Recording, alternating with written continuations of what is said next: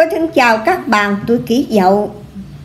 1969 à, Thì hôm nay cô sẽ chia sẻ cho các bạn về 3 tháng đầu năm của cái năm à, của năm Giáp Thìn. Thì lời đầu tiên chúc các bạn được nhiều sức khỏe, bình an và hạnh phúc ta nhắc sơ qua lại về cái sao của các bạn ở trong cái năm nay. Thì nam chúng ta có một cái con sao nó khá xấu. Đó là cái con sao thổ tú. Người ta nói thổ tú là một cái hung tinh hay là một cái ác tinh. Nó dễ đem tai họa cho chúng ta. Khi mà trong năm á, chúng ta chăn nuôi á, thì nó không đem lại lợi lộc cho mình ở những cái bước đầu tiên của năm đó, chúng ta có những cái sự thuận lợi, nó nó không có được thuận lợi cho chúng ta. Sau này nó giống như một cái một cái con sao thử thách chúng ta ở những cái bước ban đầu. Nhưng mà qua những cái bước ban đầu, qua qua những cái tháng sau rồi á, nếu chúng ta vững niềm tin, chúng ta vững tay chèo thì chúng ta sẽ gặp được cái cái thuận lợi. Sau này mình mà nói là nó là cái con sao Ờ, quá xấu thì cũng không phải là xấu, mà nó là chỉ coi là cái con sao đem lại cái sự lo lắng cho mình. Và nó xấu ở trong cái tháng 1 và và tháng 8 nếu chúng ta khôn khéo, chúng ta vững niềm tin, chúng ta kiên trì thì chúng ta phải vượt qua mọi cái cái khó khăn, thử thách của ngôi sao thổ tú nha các bạn nam. Còn đối với nữ thì chúng ta gặp cái con sao vân hớn khi mà gặp cái sao vân hướng thì tính tình của chúng ta nó cũng trở nên thay đổi. Mình có vẻ gì như mình cố chấp hơn nè à, mình nóng nảy hơn nè mình bảo thủ hơn nè mình ít chịu nghe lời những cái người khác ừ, nói. Mình kiên quyết với những cái gì mà mình đã suy nghĩ và nó sẽ đem lại cái xấu cho chúng ta ở vào cái tháng tư và cái tháng 8 khi gặp sao vân hớn thì chúng ta dễ gặp những cái chuyện thị phi những cái chuyện uh, tranh chấp cãi cọ kiện tụng. Nhưng mà nói không phải là con cái con sao mà quá xấu cho mình nha.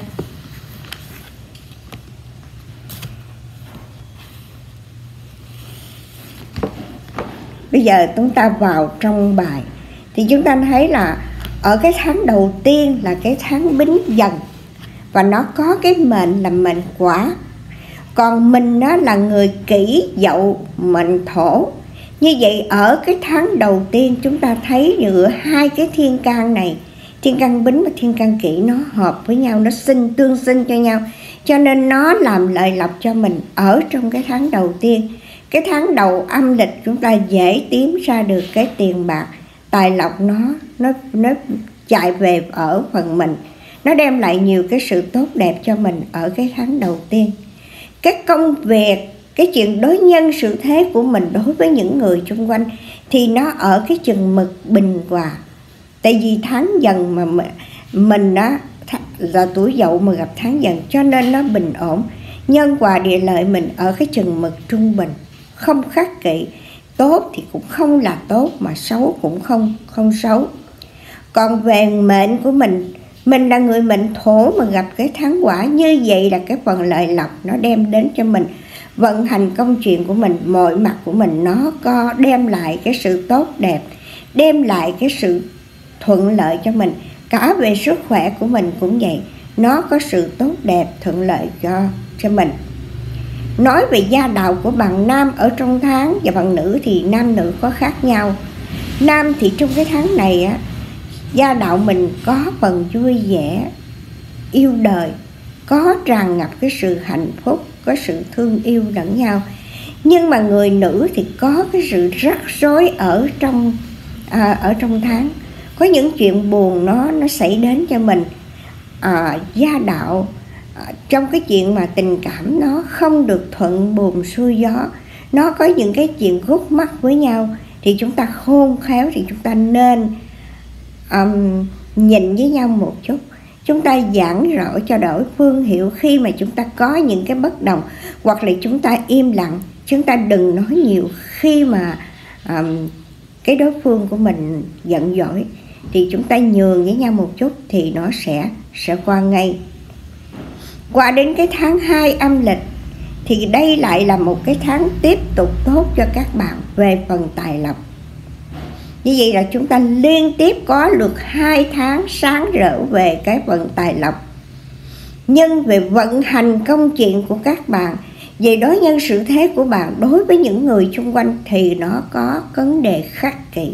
Tại đây là tháng mà nó không hợp tuổi với mình cho nên nó xảy ra những cái vấn đề đó.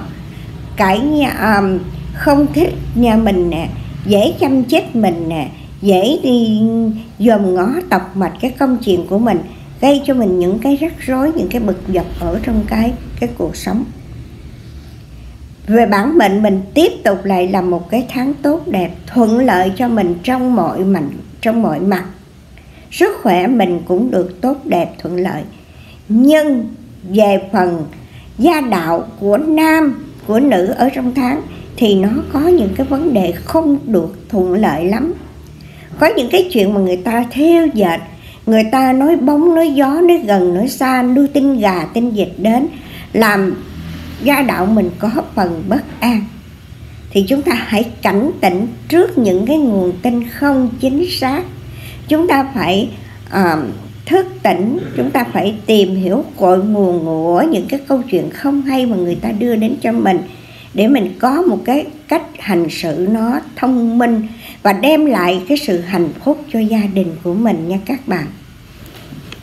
Qua đến cái tháng 3 thì tài lộc của các bạn nó trở lại cái mức trung bình. Không tốt mà cũng không xấu lắm.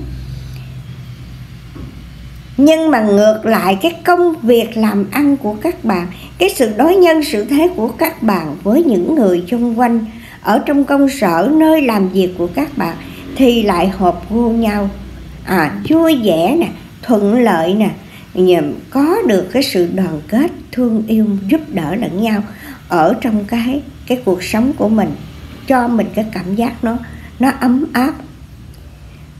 Còn về bản mệnh của mình thì trong tháng này các bạn cần giữ gìn cái bản mệnh của mình.